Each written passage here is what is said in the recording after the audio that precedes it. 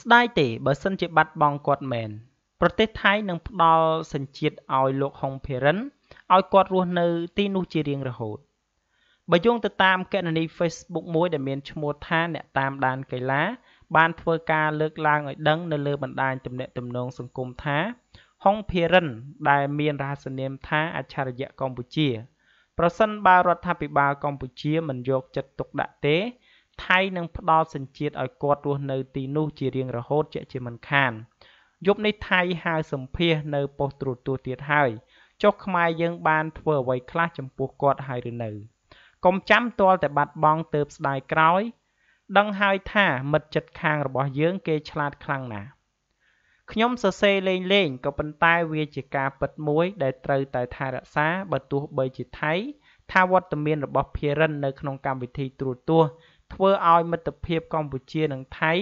មានភាពជាបងប្អូនកាន់តែប្រសើរឡើងក៏ដោយនៅក្នុងសារនេះផងដែរម្ចាស់គណនី Facebook ចង់ដាស់តឿនទៅដល់ប្រជាជនកម្ពុជា ជាពិសេសថ្នាក់ដឹកនាំនៅក្នុងជួររដ្ឋាភិបាល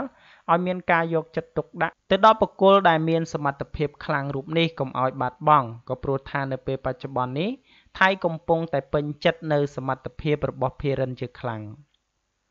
បាទដូច្នេះសម្រាប់ព័ត៌មាននេះផងដែរខ្ញុំបាទសូមបញ្ចប់ត្រឹមតែប៉ុណ្ណេះសូមអរគុណរាល់ការតាមដាននិងការចុច Subscribe របស់បងប្អូនទាំងអស់គ្នាមកកាន់ Channel Star News